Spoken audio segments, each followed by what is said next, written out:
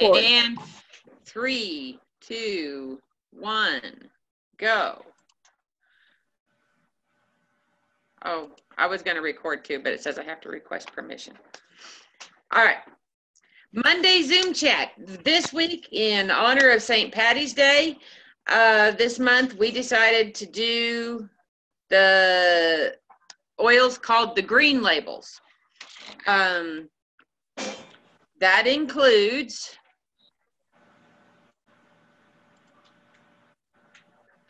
uh, the the following. So we're actually going to talk about basil, cilantro, and coriander, fennel, marjoram, oregano, rosemary, and thyme.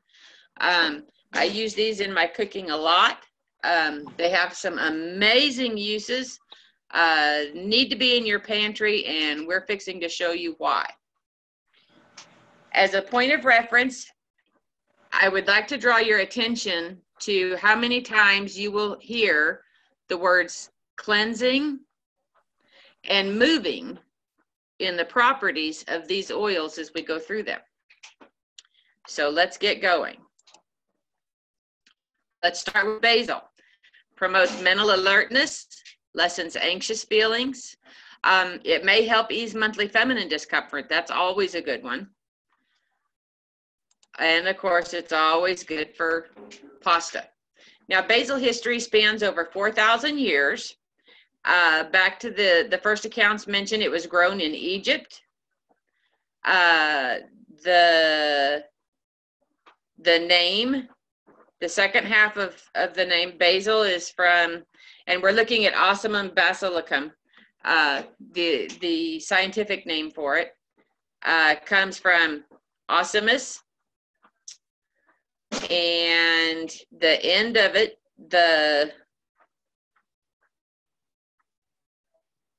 the il anyway is the from the Greek word uh, for king or kingly.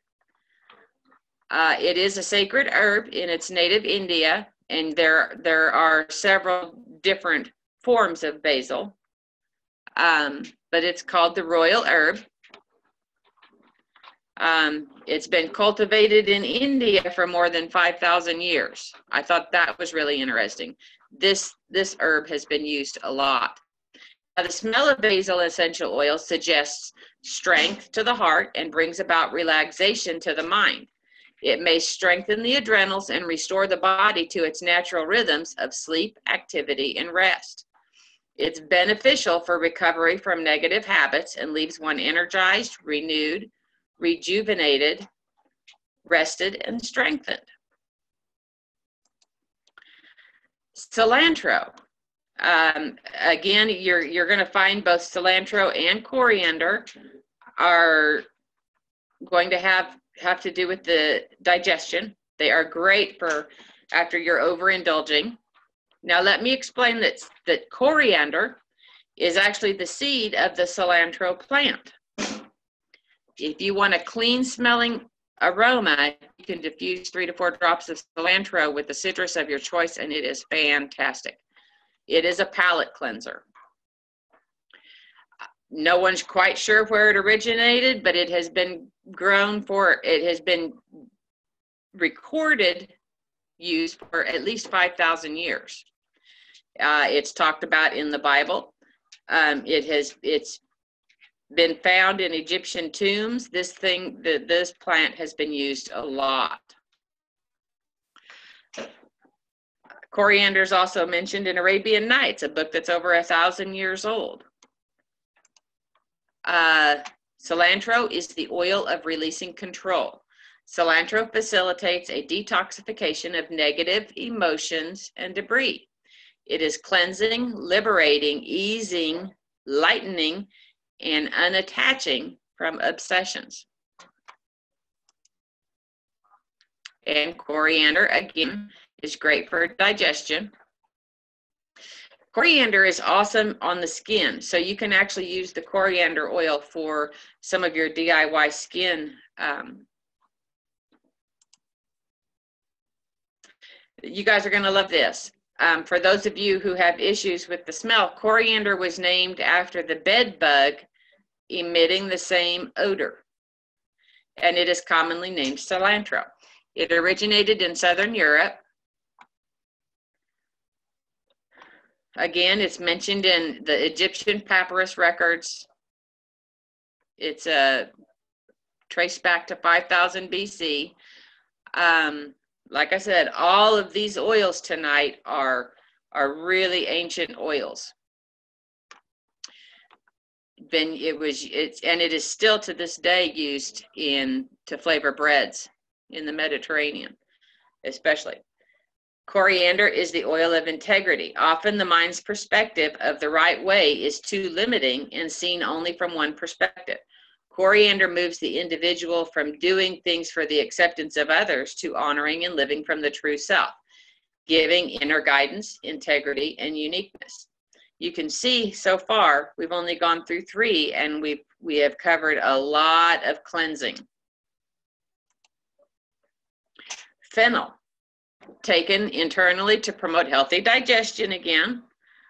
Um, it is wonderful to use um, with new mothers. Um, it it may help promote um, the milk coming in. Uh, it's a healthy metabolic oil. It's great for liver function and circulation. There again, we have that cleansing. And it may help support the health of lungs and respiratory tract. I do enjoy using this oil um, in in in my diffusing during the winter time. It it really does work well. Mm-hmm. It has recorded use over 4,000 years old again. Um, was written about at least as early as 1500 BC. Fennel was also known to the Chinese, Hindus, and Egyptians as a medicine and spice. The Italians are very fond of the seeds as seasoning. A warm tea of the seeds, slightly sweetened with honey, is a useful carminative for restless babies. A stronger tea or the oil on a lump of sugar is soothing for older children or adults. Fennel supports an individual in listening to the subtle messages of the body, such as a loss of signals due to emotional overeating, severe dieting, eating issues, or drug abuse. Fennel helps one to be responsible, tune into one's body, create satisfaction, and mature thoughts. Marjoram. This is this is right up there with oregano, and actually um, the two are so similar that you cannot separate them in the older texts. Um, so any older text, you don't know whether they were talking about marjoram or oregano. Um, but there are definitely different targets for each of them. It's valued for its calming properties and its positive effect on the nervous system. Uh, it's great on a soothing massage for targeting stressed, tired muscles. Supports healthy immune function. May promote healthy cardiovascular system function. That's a that's a good one right there. The herb dates back to ancient Greece. There again, in ancient mythology, the goddess Venus created marjoram and gave it sweet gave it its sweet flavor and scent. Aphrodite also treasured the herb. Later generations used them in many things. Marjoram is the oil of connection. Marjoram helps those who have developed a fear of close relationships, those who tend to be reclusive due to fear of close relationships, giving them a feeling of being connected, warm, soft hearted, an ability to trust, and a feeling of safety. Oregano you can see that oregano is Origanum vulgare, um, which is the only difference between the name of the oregano and marjoram plant. Now, oregano, you can put two to three drops in a veggie cap capsule to help maintain a healthy immune system, and I think everybody here has done that at least once. Supports healthy digestion and respiratory function. It's used as a powerful cleansing and purifying agent.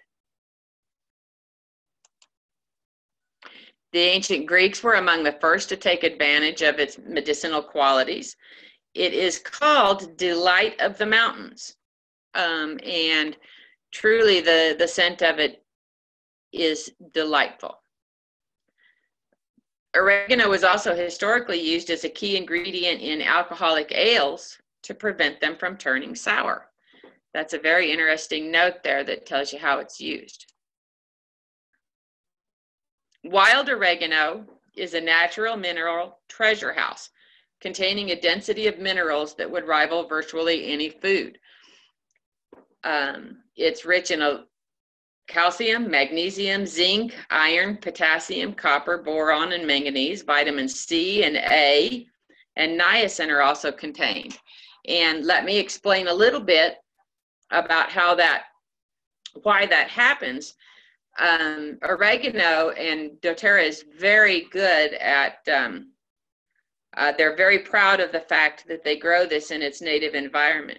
Oregano actually has a very long root system. It reaches way down into the ground to pull those nutrients up um, from areas of the soil that have not been, the surface has not been uh, changed or adjusted. And that's, that's what makes oregano so valuable as a mineral powerhouse. Oregano is the oil of humility and non attachment. The forceful and intense aroma of oregano cuts through to the heart of the matter and teaches individuals to do the same. It clears blocks, negativity, and negative attachments. It teaches humility, makes one teachable, flexible, with a willingness to be wrong, and helps open one up to devotion. Now I have here a really awesome garlic spread that I, I will just mix up. Uh, to put on my garlic bread um, before I pop it in the oven. And I've been known to to flop a, a, a teaspoon of this on top of a good steak too. Um, so that is a my one of my favorite oregano recipes. Rosemary officinalis, Rosmarinus officinalis, uh, supports healthy respiratory function, you can take it internally to support healthy internal organ function. You can apply to the scalp and massage for an abundant looking head of hair. It helps reduce nervous tension and occasional fatigue. Rosemary basically means um, fluid near the sea, basically. Uh, it is very good at unclogging and opening the body and emotions to help with transitions and creating new experiences. Known for eons as an inspiring herb, rosemary is probably one of the most written about herbs in ancient texts. Rosemary is the oil of knowledge and transmission. It assists individuals with learning disabilities. It brings expansion to the mind, supporting individuals in receiving new information and new experiences. It gives one mental clarity, knowledgeable, teachable, inspired, and open to new experiences. It's a very it it's an herb that re, really helps you be elastic and able to bend and flow with with with life as it happens. It's just a really great oil and probably one I use the most. Uh, this is my rosemary bergamot tea. I just put a drop each of rosemary and bergamot in my tea. Um, and I actually will start it first thing in the morning. It's my, it's my get up and go and, and stay focused and, and add attention oil. Uh, just really great there. Thyme. Thymus vulgaris. It provides cleansing and purifying effects for the skin. You can add it to your winter routine to support a healthy immune system. Add to your favorite daytime diffuser to promote a sense of alertness, and it naturally repels insects. The origin of the word thyme is Greek from the word meaning courage. Um, and that kind of explains how you can get some of the sayings um, time heals all wounds courage um, there again this thyme has been recorded as far back as 3000 bc Um, it's a it's another really old one, and it was used a lot. It is known as the oil of release and forgiving. Thyme is one of the most powerful cleansers of the emotional body and assists in addressing trapped feelings which have been buried for a long time. It brings up and releases stagnant feelings, leaving one forgiving, tolerant, patient, patient, open-hearted, and understanding.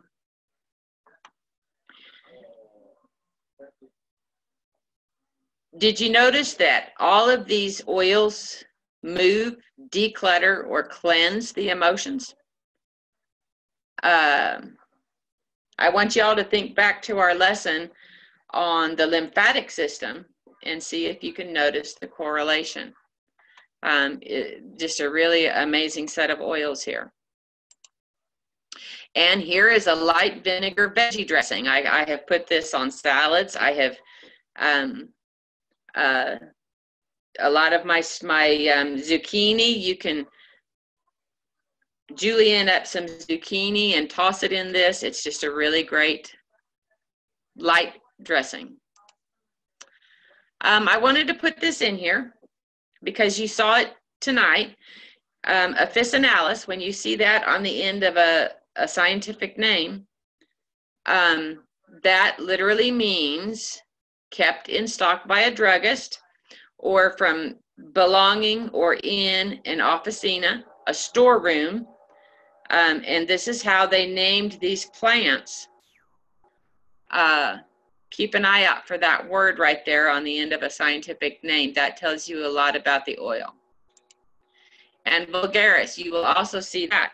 Vulgaris is, you can, you can trace these oils and herbs back to um, the common peoples. These were the plants that were easy for common people to grow. And so a lot of them would have them right there next to the house where they could run out and pick them. You'll find that in um, uh, several of the oils we talked about tonight. And I just wanted to give you a little sample of that. Okay, so next week we are doing superpowers in biblical time and now. Can't wait for that one. Felissa has some great information for that and we'll be getting it together and, and putting it together for you. Uh, Wednesdays at 8 p.m. we have our book study and we're still on the shack. So we'll see y'all Wednesday, uh, and we'll have some fun with that. The love of a single heart can change the world, and we are changing the world one drop, one person, one community at a time. If y'all liked what you read, you can reach us at Felissa at doTERRA at outlook.com or Robin at theoldmasonhomestead.com, or you can find us on Facebook. Felissa at choosehealth.us, or Robin at Inspiring Solutions Together. And we will see you next week. Y'all have a great evening.